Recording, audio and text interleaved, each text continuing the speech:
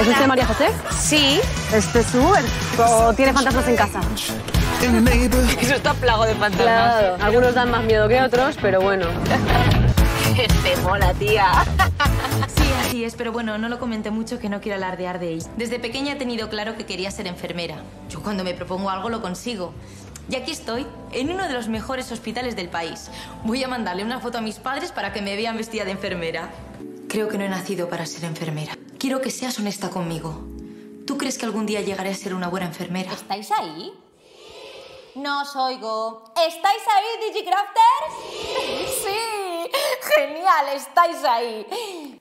Es sorprendente cómo las tecnologías y las metodologías de aprendizaje innovadoras nos hacen más fácil entender cualquier cosa. Robles ha encontrado el microfilm. Y es peor de lo que pensábamos. ¿Dónde está ahora? Regresando a Ezcaray, ha quedado con la jueza para entregárselo. Necesitamos a las dos mujeres. Envíe el mensaje. ¡Tú! ¡Te vienes conmigo! ¿A dónde me llevas? Ni una palabra más. ¡Joder! Yo también me alegro de verte, Yo pensaba que venías a quemar toxinas, perder peso, controlar el colesterol. Podamos respirar a gusto. Eso, eso, eso. Y no desperdiciemos un rollo guapo si nos surge.